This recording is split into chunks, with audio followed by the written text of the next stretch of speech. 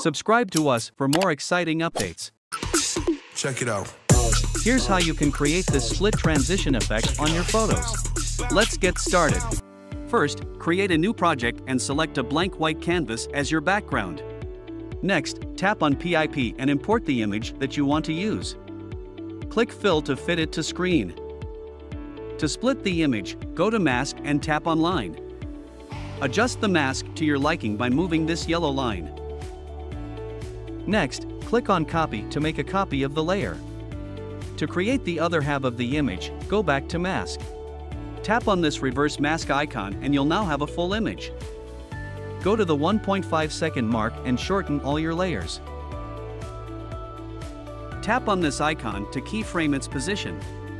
Scrub back to 0 second and move your layer to the entry point of this effect. Once done, click on the plus icon and import the same image onto your main timeline. To add the black flashing effect, exit your current project. Create a new project and select a blank black background. Tap on Effects under Beat and select Flash. Hold on to it to apply. Tap on Save to export. Next, bring it into your first project using PIP. Tap on Fill to fit to screen and select Blend. Select Slide. Here's how I create a split transition effect on my photos. Layer on music, effects, and you are done. Try it on YouCut.